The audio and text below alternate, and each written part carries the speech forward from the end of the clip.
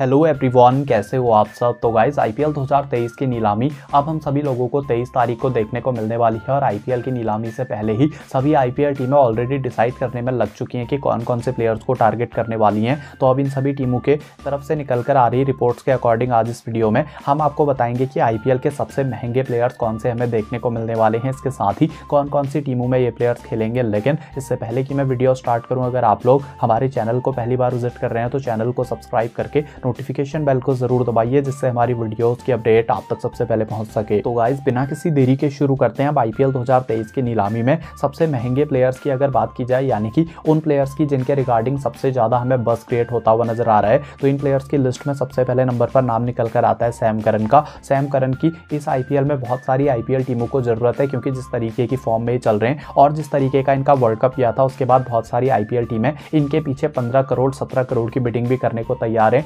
ऐसे में Sam Curran इस आईपीएल की नीलामी में सबसे महँगे प्लेयर्स में से एक नज़र आने वाले हैं। इनके बाद इस लिस्ट में नाम निकल कर आता है कैमरन ग्रीन का। वैसे तो कैमरन ग्रीन का जो टी करियर है, वो इतना ज़्यादा बड़ा नहीं है कि इनके पीछे इतना बस क्रिएट होना चाहिए था। लेकिन क्योंकि ये रिसेंटली इनकी परफॉर्मेंस काफ़ी रेड हॉट रही है तो ऐसे में एक यूटिलिटी प्लेयर होने के कारण कैमरन ग्रीन के ऊपर बहुत सारी आईपीएल टीमों की ऑलरेडी नज़रें हैं और बहुत सारी आईपीएल की टीमें ऑलरेडी इनको अपनी टीम में शामिल करना चाहती हैं तो आसानी से आप लोग एक्सपेक्ट कर सकते हैं कि दस करोड़ से ऊपर की बिडिंग आपको कैमरन ग्रीन के ऊपर देखने को मिलेगी। इनके बाद गाइज़ इस लिस्ट में नाम निकल कर आता है बेन स्टोक्स का। स्टोक्स वैसे तो ओडीआई क्रिकेट से रिटायर हो चुके हैं, जिसका मतलब है इनकी अवेलेबिलिटी को लेकर थोड़े बहुत जो क्वेश्चन थे वो तो कम हुए हैं, लेकिन इसके बावजूद बेन स्टोक्स की अवेलेबिलिटी हमेशा से ही क्वेश्चनेबल रहती है। लेकिन इसके बावजूद क्योंकि एक बहुत ही बड़े प्लेयर हैं और शायद currently one of the best allrounder हैं पूरी दुनिया भर में, ऐसे में सनराइजर्स हैदराबाद, पंजाब किंग्स जैसी टीमें ऑलरेडी बेन स्टोक्स को अपनी टीम में शामिल करने के लिए तैयार हैं और जैसे ही ये हमें ऑप्शन में जाते हुए नज़र आएँगे बहुत सारी आईपीएल टीमों के बीच में बेन स्टोक्स हमें बिडिंग वॉर क्रिएट करते हुए नज़र आएँगे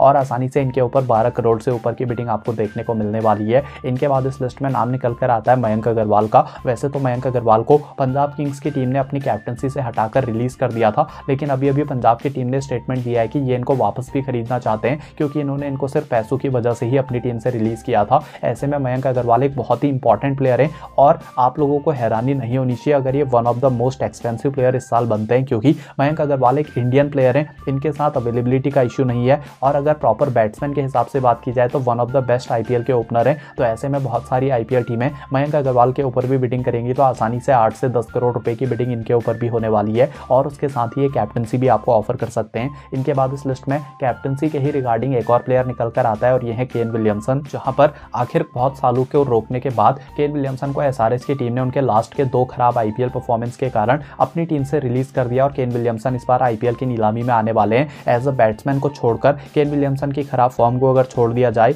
तो इनके साथ जो सबसे इंपॉर्टेंट फैक्टर है, वो है कैप्टनसी का, जिसका मतलब है जो भी आईपीएल टीम इनको खरीदती है, वहाँ के ऑटोमेटिक कैप्टन बनने ही वाले हैं। तो ऐसे में केन विलियमसन को वही टीमें टारगेट करने वाली हैं जिनके पास या तो करेंटली कैप्टन नहीं है, या तो उनके कैप्टन जल्दी ही रिटायर होंगे। यानी कि चेन्नई सुपर किंग्स जैसी टीमें आप लोगों को केन विलियमसन के पीछे जाते हुए नज़र आएँगी और आसानी से छः करोड़ रुपए के आसपास की बिडिंग इनके ऊपर भी होने वाली है। इनके बाद इस लिस्ट में नाम निकल कर आता है श्रीलंका के दाशुन शनाका का। शनाका पिछले साल आईपीएल में अनसोल्ड चले गए थे और आईपीएल में काफ़ी ज़्यादा अनफॉर्चुनेट रहे हैं, लेकिन इसके बावजूद ही अपने साथ कैप्टनसी का भी इस बार ऑफ़र लेकर आ रहे हैं और इसके साथ ही ये एक बहुत अच्छे फिनिशर भी हैं। हमने ऑस्ट्रेलिया के अगेंस्ट इनकी वो इनिंग देखी थी तो ऐसे में दाशुन शनाका के साथ भी अवेलेबिलिटी का ज़्यादा इशू नहीं होने वाला, क्योंकि श्रीलंका की टीम के ज़्यादातर प्लेयर्स आईपीएल के लिए अवेलेबल रहते ही हैं तो ऐसे में दाशुन शनाका के पीछे भी बहुत सारी आईपीएल टीमें आप लोगों को इस बार जाते हुए नज़र आएँगी। तो गाइज़ ये वीडियो ही तक थी। अगर आप लोगों को वीडियो पसंद आई हो तो इसको लाइक करके हमारे चैनल को ज़रूर कीजिए सब्सक्राइब कमेंट सेक्शन में। कमेंट करके आप लोग बताइए आप लोगों के हिसाब से इस बार आईपीएल की नीलामी में सबसे ज़्यादा महँगा कौन सा प्लेयर बिकेगा? तो मैं मिलता हूँ आप लोगों से अपनी अगली वीडियो में। तब तक के लिए बाय बाय